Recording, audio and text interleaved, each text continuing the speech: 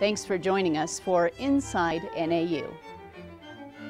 Here's Northern Arizona University Regents Professor Wally Covington in the spotlight.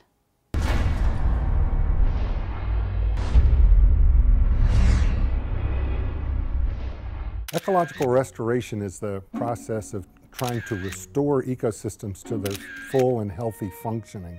So this is whether you're talking about forest ecosystems or grasslands or deserts or springs or seeps.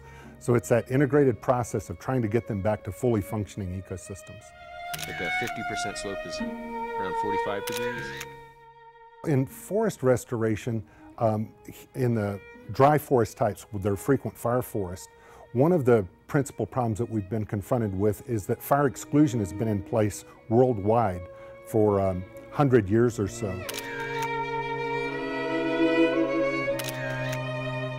When fire exclusion occurs, you have the steady buildup of fuels. As these fuels build up, then fires uh, shift from surface fires, which were sustaining, maintaining ecological health, to crown fires, which are very destructive.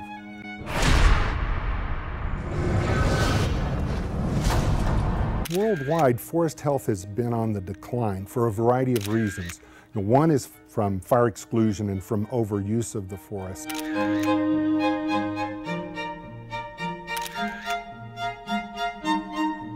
But a, a bigger threat to it that's happening right now is global climate change. With global climate change, we're seeing very rapid shifts, not only in temperature, which everyone's familiar with, but also in the distribution of rainfall.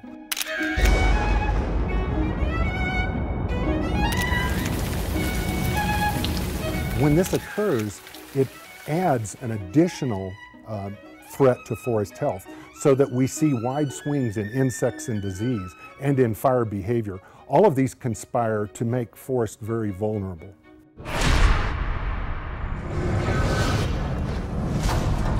Here in Arizona, forest, the predominant forest health problem is associated with fire exclusion. So this is the classic type that's referred to worldwide uh, as fire exclusion and overgrazing uh, that was initiated about 100 years ago resulted in great increases in forest density and the steady accumulation of fuels. And that's where we are in, in Arizona right now.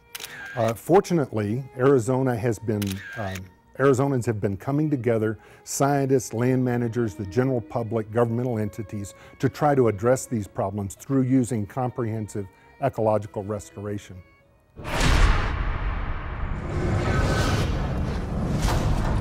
Since I've been here in Arizona, I came here in 1975, I've been working with forest managers and other scientists and, and the general public to try to find ways to restore more healthy forest conditions. Back in 75, this is over 30 years ago now, the first thing we tried to do is just to reintroduce fire very carefully using prescribed burning. But what we found out uh, pretty quickly is that the current densities of trees are so high and the fuel accumulations are also high on the surface of the forest floor that it's very hard to safely use prescribed burning to restore natural conditions. Fires tend to get into the canopies and get out of hand. So that then led us to realize that what we're going to have to do is go in and mechanically treat these forests. And by mechanically treating, what I'm talking about is thinning out the extra post-settlement trees, uh, raking heavy fuels from the base of the, the rare, large old growth trees that are out there, and then reintroducing fire.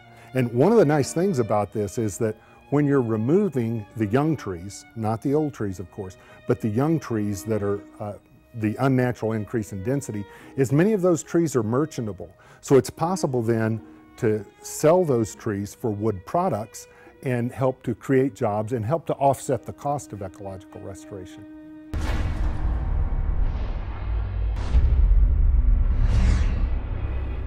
Dr. Covington was recently awarded the prestigious Sperry Award at a ceremony in Australia.